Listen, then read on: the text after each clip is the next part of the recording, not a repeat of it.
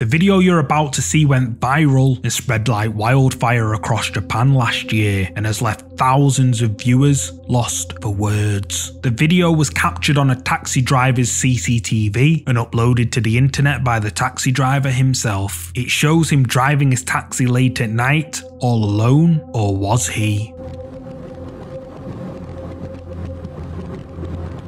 タイヤ入り込んでる